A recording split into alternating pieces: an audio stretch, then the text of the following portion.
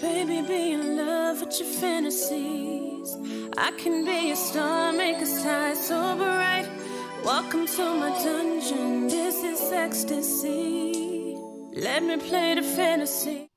What's good, YouTube? It's your girl Asia. And it's your boy BJ, and, we, back like we, never left. We appreciate y'all for tuning in for another reaction. You got it? Yeah. Yeah, you got the sniffles. I do. Oh, babe got the sniffles. it's good, but you're gonna make it. You're gonna be all right. Yeah. I got you. I got you. Uh, but we're about to be checking out Judge Joe Brown. He actually sitting down doing an interview, and in this interview, it looks like he's he's speaking in regards to uh, to Donald Trump, just in regards to is Trump a racist or not. Uh, but he's also going to speak on a, a, a multitude of other things regarding uh, Biden, Obama, Lolo, Satoro, uh, and things of that nature. But I definitely wanted to check this one out. Judge Joe Brown sitting down having an interview. Uh, Lolo Ciatora. Who is that? Lolo Toro. I'm not sure who that is. I'm not sure. Okay. But yeah, definitely wanted to check this one out with Judge Joe Brown uh, speaking in regards to Trump and if he's a racist or not. All right, you ready? Yeah. Make sure make sure y'all like, comment, subscribe, smash the notification bell, y'all. My allergies are on 30 today, okay? Yeah. Not 10, but 30. I've been trying to get it under control all day and and you- it just is not happening. It's all good. Okay. We got you. It must be the change in weather because all of a sudden now I'm having all these allergy issues. Yeah, it's been, it's been going on all day. Yeah. Last couple of days, actually. literally. What What is your take on Trump? Is Trump a racist? I don't think so. I've talked to a number of black entrepreneurs who, back in the late 80s and 90s, were early 90s, were trying to get financing. They couldn't. Somebody told them to go check with Donald Trump. So they come back and tell me they got a loan from Donald Trump. He gave them a term loan. Show up with the interest and the principal, one check, but they had to go see him personally. They independently relate this tale that when they saw him, he said, "This what you supposed to pay me? This our agreement?" Said, "Yeah," and then tore the check up, shook their hands, and congratulations. Now run your business. And this was when This was back in the '90s. See, most people don't even know this. He had a sister. He was every time you saw him back in the '90s, fine paper bag, brown, beautiful black model. He likes fine women. he didn't have any problem with dating a black woman, walking her down red carpets. So, I mean, she says he's not a racist. He just doesn't like many people, black or white. And he appreciates people who do stuff within their lane. Uh, well, not stay in their lane, but where they choose to be, if they do it well, he admires them black, white, brown, red, yellow. Most people don't know this. He did was the finance man behind Jesse Jackson's two runs for president. Wow. wow, So, you know, he talks. That was in the 80s. I remember being I remember being a kid and Jesse Jackson coming to our church ar- ar- around that time with the campaign run trying to go for president. Yeah. and, and the whole church being packed because he was there. And that was the 80s. I remember that being the 80s. That was when he was running for president. Wow. But I don't mind somebody talking. I think we've gotten too sensitive to that. That's part of the effeminization of the country. I remember in junior high and high school, hey man, I won't say nothing, man. But last night when I saw your mama, man, you don't know I was over there because you was asleep, man. But blah, blah, blah, blah. We ran the dozens. That was our sport. So we were used to talking about each other. Now, man, he talking about my mama, man. What's wrong with you? do do you think uh, Trump will get reelected? I think he's going to get reelected. Uh, this impeachment mess we've got right now. There's a thing called U.S. Constitution, and the Constitution says the president is the chief diplomatic officer of the United States. It puts no limits on his discretion. It simply says that if he comes up with any treaties, they have to be ratified by the Senate. If a treaty is ratified by the Senate, it becomes part of the supreme law of the land. The president and other elected and appointed officials are under oath required to follow the law of the land. the State Department, Secretary of State are part of his cabinet and are essentially advisors to the president. He's the boss. Wait a minute. Does he is he talking about the discretion of like like everything that's happening in terms of like the paperwork and stuff that, that they said was missing and the documents or whatever it was that he took? Because I've seen that multiple times in terms of like people explaining that you know it was up to his discretion in terms of like what he felt was you know not supposed to be taken or whatever you know and vice oh, versa Oh, just things that I, can be. I don't know if that's what he's referring to or not in particular though Yeah, just things in regards to what can be classified, and, and some like in some cases, some documents that are like classified, yeah like like has a high Right. classification, you can declassify Right. based on his discretion. I think that's what you're speaking Right. about. Yeah, Yeah. you're right. You're right.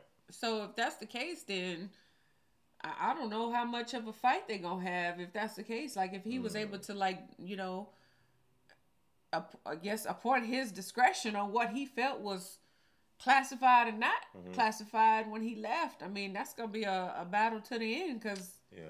you know what I'm saying. I just like, feel like, I, I just feel like that's like an internal battle uh, between like the Democrats and the Republicans. You know what I mean? Like Yeah. Democrats going after the Republican Party.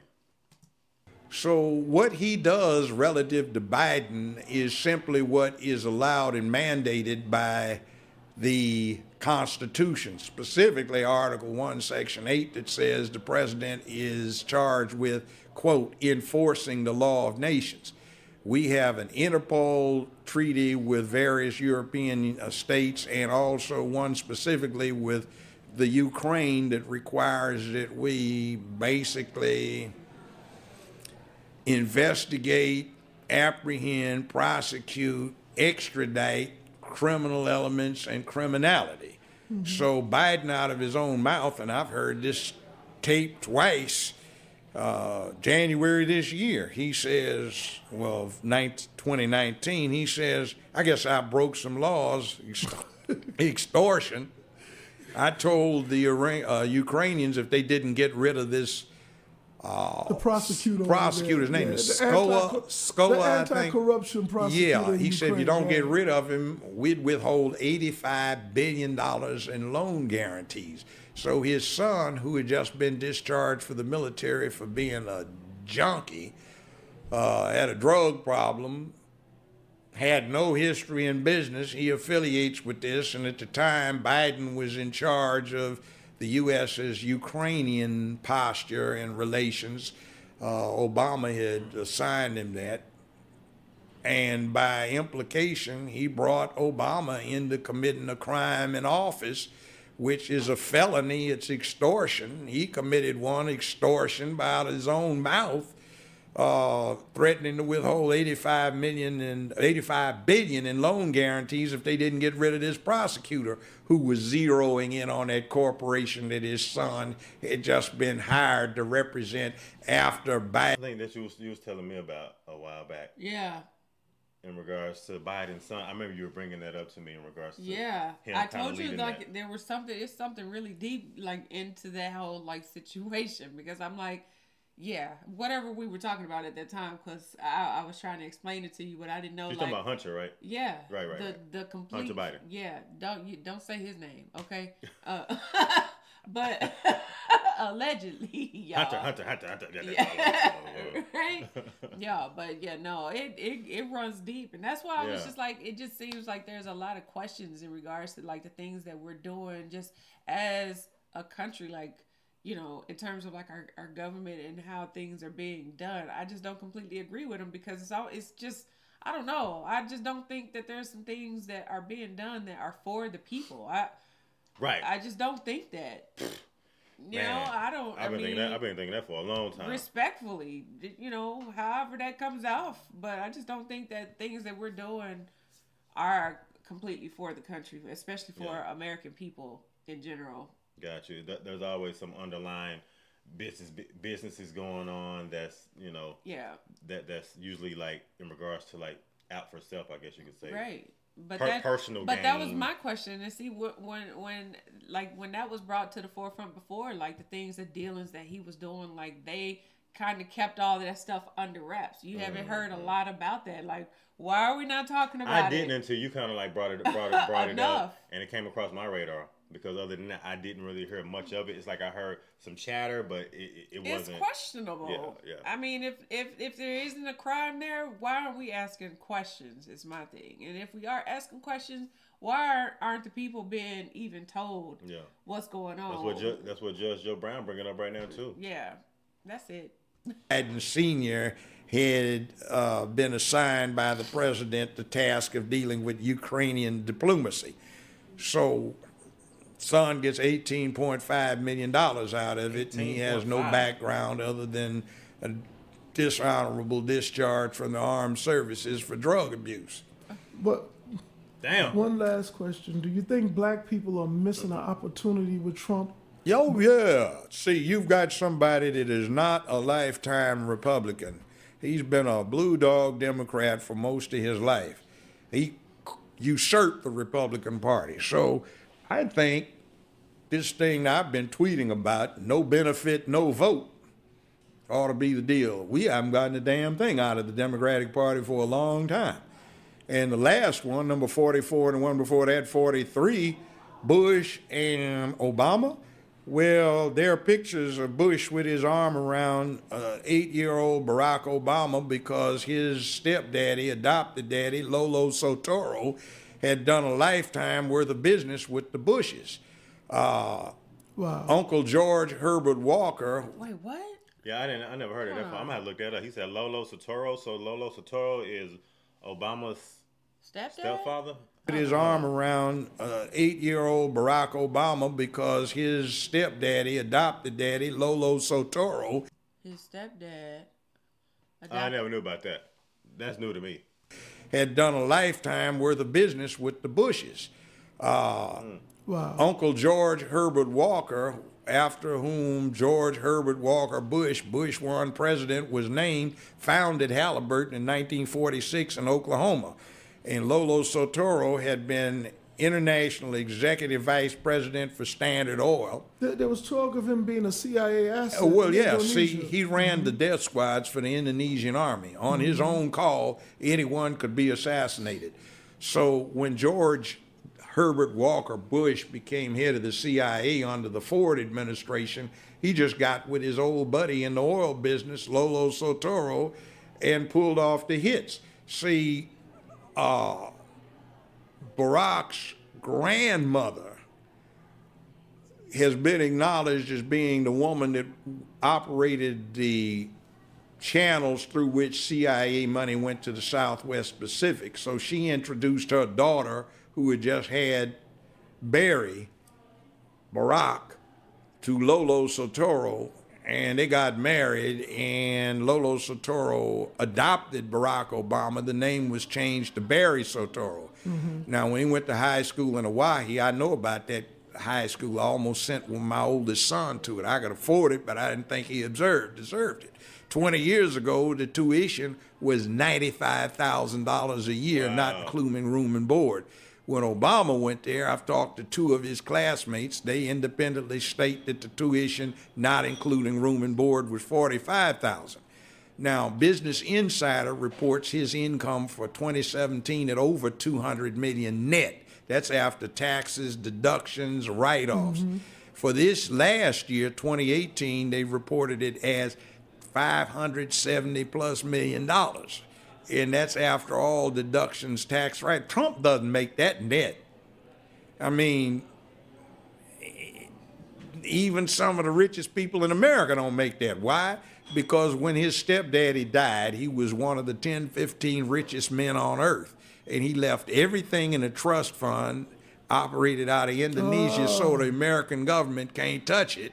That makes Barack Obama one third beneficiary for the assets of one of the 10, 15 richest men on earth.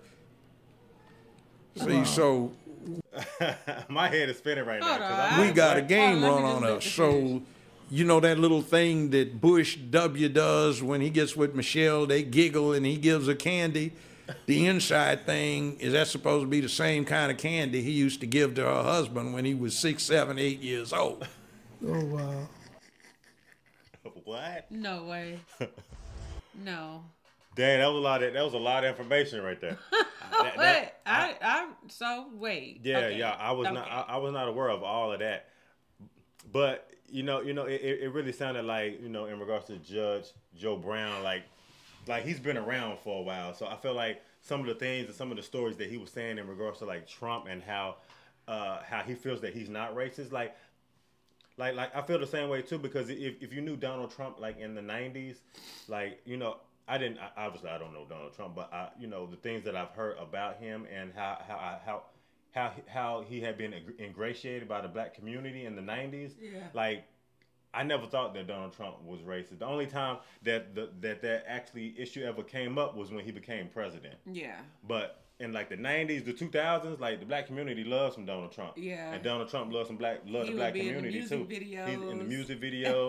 he's in in the in the in the song. So I, I felt like you know the black community celebrated him way way early early on, and it wasn't based on you know him being white or being a, a rich white man. It was more along the lines of the things that he's kind of uh, aligned himself with in regards to like the black community.